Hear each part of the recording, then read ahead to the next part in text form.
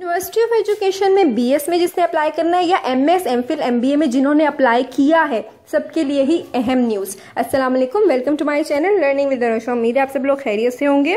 सबसे पहले बीएस वालों से मुखातिब हूँ। बीएस वाले स्टूडेंट जिन्होंने बीएस में एडमिशन लेना है और इंटरमीडिएट पार्ट टू का रिज़ल्ट नहीं आया।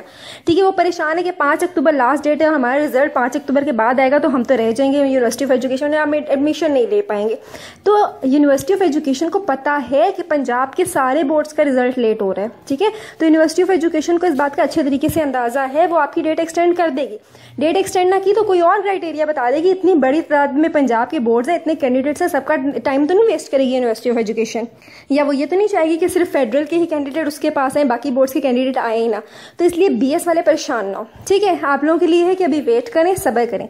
ठीक है, अब दूसरी न्यूज़ जो है वो एम एस एम फिल और एम बी ए के एप्लीकेंट्स के लिए जिन्होंने अप्लाई कर लिया और एंट्री टेस्ट है उनका। ठीक है, आप यूनिवर्सिटी ऑफ़ एजुकेशन की वेबसाइट पर जाएँ, आपको फ्रंट पेज पे नज़र आएगा कि यहाँ पे एप्लीकेंट्स के नेम जिन्होंने एंट्री टेस्ट देना है, जिस कैंपस में देना है, जिस सब्जेक्ट में देना है, उनके नेम की पूरी लिस्ट पब्लिश हो गई है। आप अपना नेम देखें, यहाँ पे किस लिस्ट में आपका नाम है भी या नहीं, ठीक है? और देख लेंगे किस किस कैंपस में आपके टेस्ट है। फॉर एग्ज़ाम्पल आपने एक ही सब्जेक्ट में दो डिफरेंट कैंपसेस में टेस्ट के लिए अप्लाई कर दिया, ठीक है? तो आप उनमें से एक में ही जाएँगे और एक ही जगह टेस्ट देंगे, दो जगह पे नहीं दे सकते डेफिनेटली आप, ठीक है? तो यहाँ पे लिस्ट मौजूद है M S M Phil P H D M B A वाले एप्लीकेंट जिन्होंने टेस्ट देना उनकी लिस्ट मौजूद है, आप अपना नाम इसमें से देख सकते हैं। तो ये लेटेस्ट न्यूज़ थी आप लोगों के लिए, अपना बहुत ख्याल रखें दुआ मुझे याद रखें, अल्लाह हाफिज़।